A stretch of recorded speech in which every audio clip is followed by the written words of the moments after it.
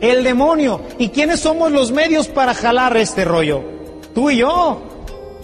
Tú y yo somos el medio. Y ese no es el problema. El problema es cómo se empieza a hacer el teléfono descompuesto. Ahí no habría lo mejor gran pecado. El problema es que yo le voy a pegar y sabes que lo cambian porque hizo tal y tal cosa. Ah, no me digas. Y eso también lo sé de buena fuente. Y la única buena fuente que tienes es el demonio, hermano. Esa es la buena fuente que tienes. Es el que va generando dentro de ti todo este tipo de murmuraciones. Se llegan a acabar grupos, ¿eh? Iglesias. Se llegan a acabar empresas por las murmuraciones. Y nosotros decimos, lo que pasa es que mi pecho no es bodega. Es un hábil en sembrar las murmuraciones. Y las blasfemias, aunque aquí dentro de nuestro ámbito no son tan comunes, pues sí es nuestro vocabulario, ¿verdad? Me lleva la... ¿Verdad? Y luego lo usamos para todo y para todos, incluyendo al Señor. Incluyendo al Señor. Cuidado con el vocabulario, hermanos. Yo sé que aquí en el norte le llamamos maldición. Se llama un lenguaje burdo, es un lenguaje grosero. Pero ese lenguaje grosero, pues lo podemos utilizar a lo mejor y no tiene nada de malo el que yo con mis trabajadores, no es que así me llevo con la raza. Pero es distinto llevarte con la raza a llevarte con tu papá. Tú cuando llegas con el presidente de la República no le dirías, oye hijo del tal por cual, ¿verdad? ¿Verdad que no? Señor presidente. Imagínate con Dios. Pero se nos va haciendo una costumbre. Yo era un tipo terriblemente maldiciento antes de conocer al Señor, pero ni cuenta me daba. Forma parte de nuestro vocabulario y ya no te das cuenta cuando lo dices. Yo no era consciente. Mis amigos, mis hermanos de comunidad me fueron ayudando a hacerme consciente cada vez que yo decía una mala palabra. Para irla corrigiendo, para irla corrigiendo, para irla corrigiendo. Y todavía de vez en cuando, zúmbale, se van. Ahí está el demonio, ¿verdad? Empujando. Órale. ¿Para qué? Para que en el momento oportuno ofendas a alguien. No, no te lo dije en mala onda. Está bien que no me lo dijiste mala onda, pero cuidado, hermanos, con las desconfianzas, murmuraciones y blasfemias. Hay que tener cuidado, es un campo fértil en nuestro corazón donde el demonio llega fácilmente a sembrar. Y por último, que ya había hablado un poquito de esto, es hábil para generar malos entendidos. Acuérdense que nos puede hacer ver la realidad de una forma equivocada, como no es. Podemos oír pedazos de conversaciones, podemos ver cosas a medias, saber cosas a medias. Y entonces, como puede organizar nuestros pensamientos y puede alinearlos en un momento determinado, puede lograr el malentendido. Es que a mí me pareció que.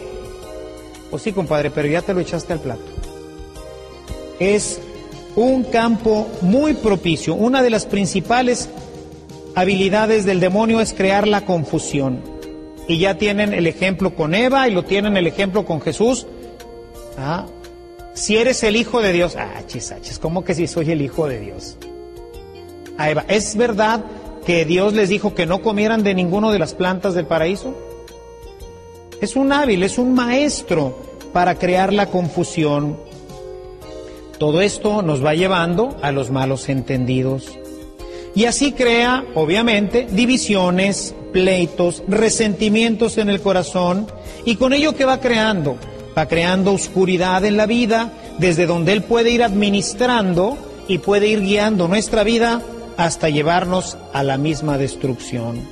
Solo un corazón con luz, hermanos. Solo un corazón con el Espíritu de Dios que ha renunciado a sí mismo es capaz de descubrir la trampa del demonio. Por eso, mis amados hermanos, no me cansaré nunca de insistirles en que la vida espiritual es nuestro parapeto fundamental. Dentro de la vida espiritual tenemos que mantenernos firmes. Oración, meditación y lectura de la palabra de Dios, comunión frecuente, confesión frecuente y ayuno y penitencia. Son los cinco elementos que pueden poner al descubierto al demonio. Son los que pueden fortalecer tu vida. Son los que pueden evitarte que el tentador logre confundirte y llevarte entre sus redes a participar eternamente de Dios. Acuérdense que el objetivo es la vida eterna, tu decisión final.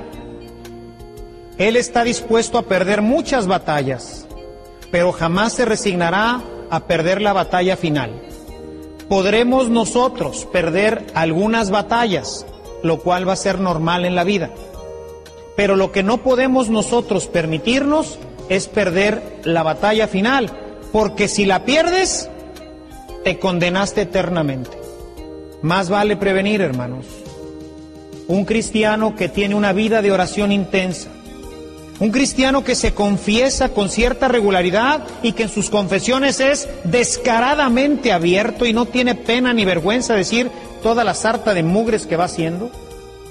Una persona que tiene una vida eucarística en donde Dios realmente lo llena, lo alimenta, lo fortalece con el pan que da la vida eterna. Una persona que tiene una relación profunda con la Sagrada Escritura, no el que la lee para estudiarla, no, el que busca descubrir en la palabra de Dios el camino que lo lleva a la victoria.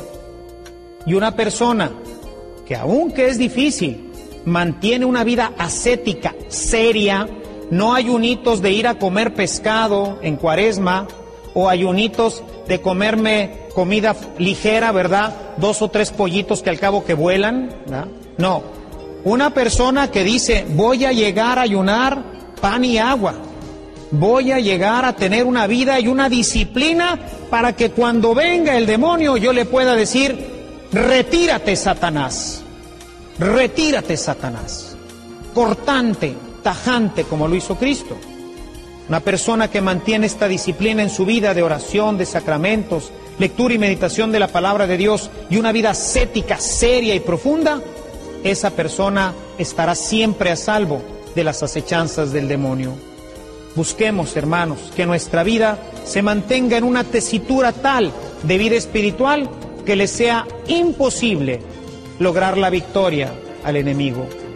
Vendrá a buscarnos, nos tocará insistentemente, buscará el mejor curricán para atraparnos, pero recordemos lo que hemos dicho con insistencia, la persona que renuncia habrá salvado su vida.